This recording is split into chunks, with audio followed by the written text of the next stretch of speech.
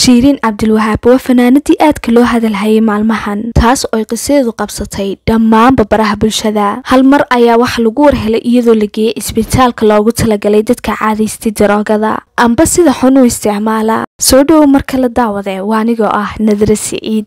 Waan ogahay muddo ismaynaan arag. Fadlan haddii aad nagu cusub tahay sabscribe aan flow labadaba. Hanaga ilaawan dhanka facebook bageka iyo youtube-kaba qisada fanaanadan ayaa waxay noqotay mid aad loo hadalhayo maalmahan. Waxay ku dhalatay masar kun sagaal boqol iyo siddeetankii. Magaceedu waa shiriin cabdilwahaab waxay leedahay laba caruura oo lagu kala magacaabo hane mustafa iyo maryan mustafa. Labadan hablood ayaa waxay u dhashay nin horey kala tegeen. Shiriin cabdilwahaab waxay soo guursatay saddex nin halka mid ka mid a ay u dhashay labadan hablood ay haysato.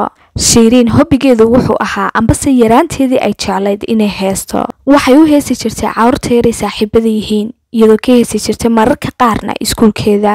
Fanka waxay soo gashay iyadoo aada u da'yar.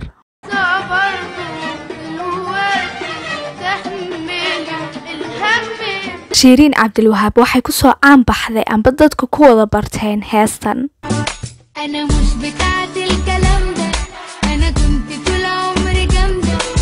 laga yaaba adigoo soomaaliya heestan inaad in badan maqashay amba soo kale in badan waa maqle heestan shiriin waxay isbarteen ninkan oo magaciisa la yidhaahdo xuseen xabiib. Xuseen xabiib isaguna waa la xamiistay sidoo kalena waa fanaan mararka qaar heesa wuxuu ku dhashay egypt kun sagaal boqol iyo siddeetankii may soddon iyo kow shiriin iyo xuseen markaa waxay kala horeeyaan keliya taanbay kala wen yihiin waa dhowr bilood. Xuseen ayaa ka weyn ilaa shan bilood meelahaas maadaama xuseen uu ahaa nin la xamiistay ah kale fanka ku jira. Shiriin sidaa darteed aad ayay isugu soo dhowaadeen muddo iyagoo asxaab ahaa markii dambe waxay go'aan ku gaareen labada kun iyo sideed iyo tobankii inay isguursadaan laakiin faamiliga shiriin hooyadeed iyo walaalkeed toona may ogoleen ninkan inay guursato. Raallina kamay ahayn. Sidoo kale xuseen aabihii raalli kamuu ahayn gabadhan inuu guursado inankiisu labada faamiliba kumaysan qanacsanayn laakiin xuseen iyo shiriin waxay u ekaayeen qaar iyagoo isku faraxsan. Labada kun iyo sideed iyo tobankii ayay isguursadeen. Shiriin markan waxaa u bilowmatay nolol cusub waxaana islahayd. Xuseen wuxuu noqon doonaa ninka keliyaatee nolosha isla dhammaysan doontaan.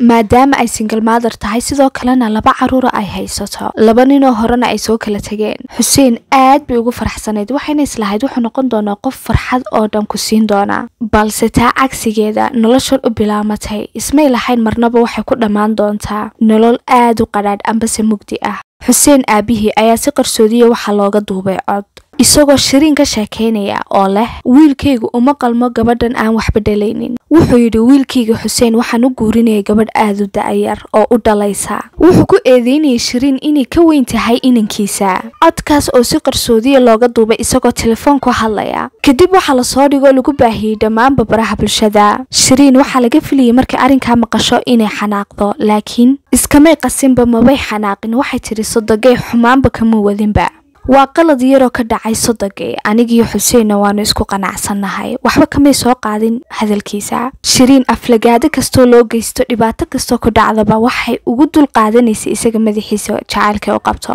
Muddo markay wada joogeen xuseen iyo shiriin waxay jeclaysatay inay carruur u dhasho ambase ubad uu ilaahay kala siiyo laakiin taas way suurogeli weyday waxay go'aan ku qaadatay inay dhammaanba masraxyadii iyo shaashadaha ka fadhiisato. Shaqadeedii faraha ayay ka qaaday si ay nasiino u hesho. Waxay isku dayday si kastaba ay u samaysay inuu ilaahay xuseen ubad kala siiyo iyadoo xitaa dawooyin u fududaynaya qaadatay. Laakiin taasi umay suurogelinoo xagga ilaahay bay ka qornayd. Shiriin waxay u saxeexday xuseen hantideeda oo dhan inuu suu doono ka yeeli karo inuu wuxuu doono ka qaadi karo wuxuu doono ka isticmaali karo wax kastuu u baahdo xuseen inuu lacagteedaas amba bangigeedaas amba wax kastay leedahay uu la bixi karo. Sidoo kale isaga ayaa u maamuli jiray dhammaanba kharashaadka ka soo gala shaqadeeda. Waxay u muujisay kalsooni fara badan iyadoo aad u jeclayd xuseen. Sidoo kale shiriin waxay biilin jirtay qoyska xuseen. Guryo ayay u dhistay. Wuxuu ka qaatay lacago badan oo kaasha guryo badan. Sidoo kalena gawaadhi badan buu ka iibsaday lacagteeda. Xuseen laakiinse wuxuu u ekaa isagoo mid ku danaysanaya oo ka faa'iidaysanaya lacagteeda. Waxaa dhacday ambase marar badan inay isku xanaaqeen xaaladooduna aad u adkaatay. Shiriin waxaa ku dhacay dhacay xanuun iyo stress fara badan isku buuq baa ku furmay. Sidoo kalena markay xanaaqdo waxay ahayd qofaan iskantarooli karaynin. Shiriin maray waraysi bixisay waxay tidhi dhowr jeer ayaan ku fikiray inaan isdilo oo nafta isdhaafiyo sidoo kale sababta ay timaha isaga xirtay ayaa ahayd culays kaga yimid dhanka faamiliga xuseen xaaladiiba aada uga adkaatay iyadoo welibana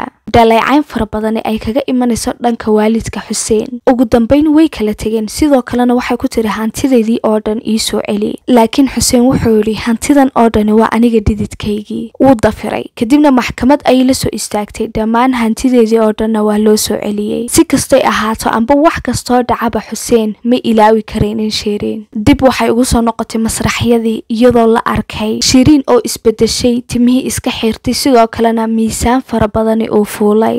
Dadka aad bay ula yaabeen shiriin isbedelkan degdega ah ee ku dhacay jirhkeedii iyo welibana timaheedii. Sidoo kalena shiriin waxaa lagu yaqaanay heesaheeda oo dhan inay wada ahaayeen murugo iyo calaacal. Waxaa la arkay iyadoo heesaysa kadibna heestii qaadi kar weydo aada u ilmeynaysa